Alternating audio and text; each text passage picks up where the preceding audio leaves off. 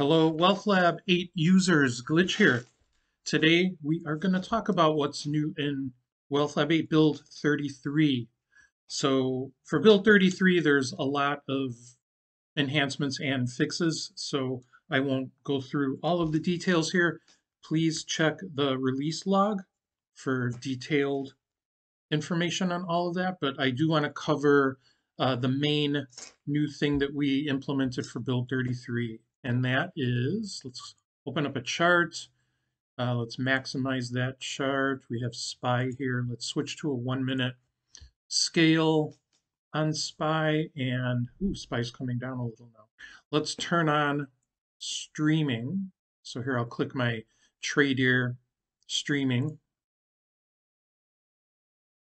And we have streaming data now and the streaming chart toolbar. Uh, previously, this toolbar was related to strategies that were drag and dropped into the chart. Now this toolbar space is dedicated to features of the streaming chart that let you place trades from the chart, uh, draw tradable drawing objects, and manage your position size for all of those trades and a dropped strategy, all from one central location. So let's take a look here at what's different. So the first thing here, we have this uh, button that was there previously, remove and attach strategy. So if you had happened to drag a strategy onto the chart, let's say, for example, this one,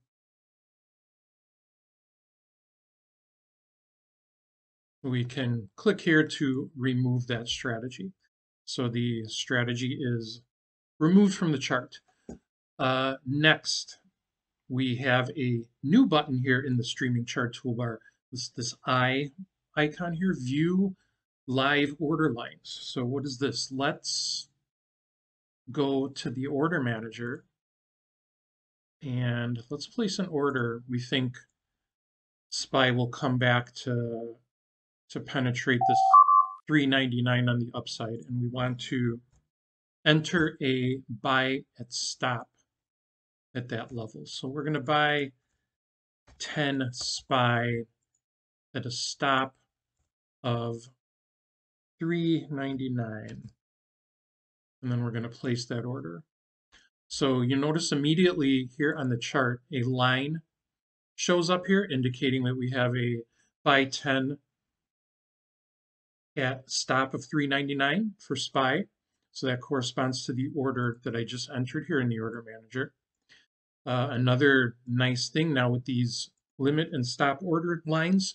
Well, first of all, if you want to hide these lines, you can click that eye that I talked about earlier.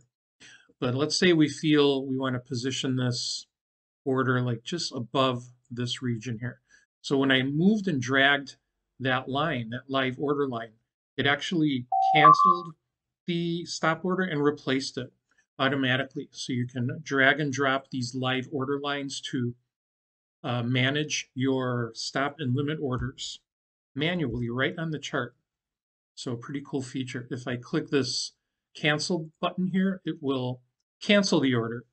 And once canceled, this live order line will slowly fade away until it eventually disappears just to give you a little bit of time to notice that that order was canceled.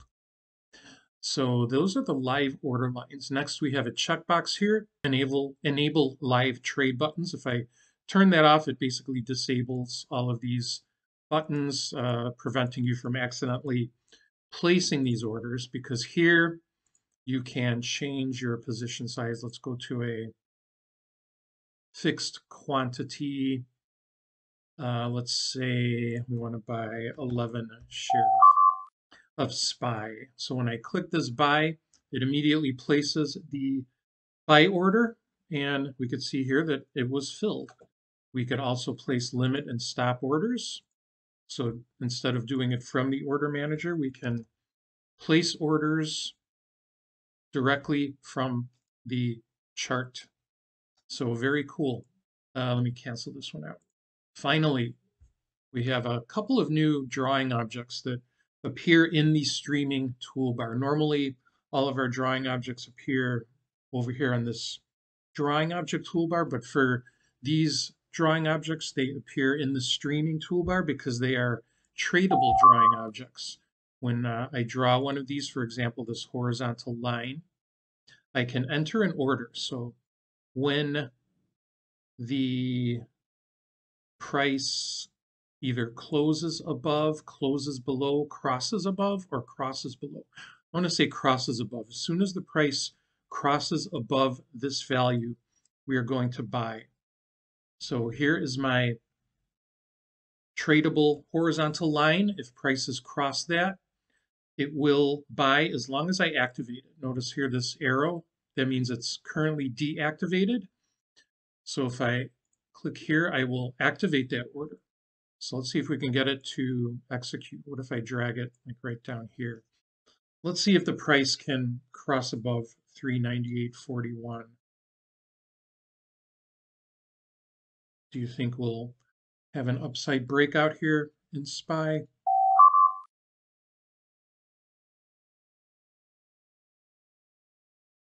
Ooh, we're close. Very close. Almost, just a little bit more. There we go. Price crossed above our horizontal line. Uh, we got an error though, not enough uh, equity in the account. So my dummy broker account is maxed out, so it could not actually place the order. What if we change it to a sell? So let's say we want to sell when price crosses above that line. We'll activate it first. Here we go. So the order is activated and there we go, submitted, uh, filled at 398.38. So the sell order was filled. So that is the tradable horizontal line. I'm going to delete that. Next, we have a tradable trend line. So that's this guy right here. I create a trend line, I can add a order trigger just like we could with the horizontal line.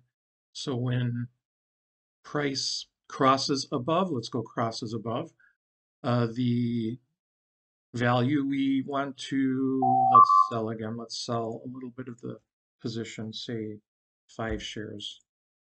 So here we go. So we are selling five when the price crosses above this trend line.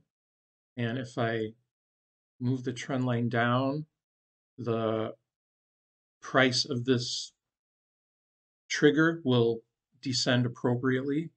When the price eventually crosses above that trend line, the order will be placed. Whenever a new bar arrives in the streaming chart, that trend line and the trigger value will automatically update. So I dragged the line down a little because SPY is selling off. So let's see. Okay, now the price finally crossed above that downsloping trend line and it triggered and sold the position. So there we go. Tradable trend lines, tradable horizontal lines in WealthLab 8. So I hope you enjoy the new chart trading capabilities. We have a lot more in store for future builds coming up, a lot of good stuff. So stay tuned and thanks for watching everyone and see you all on the forums.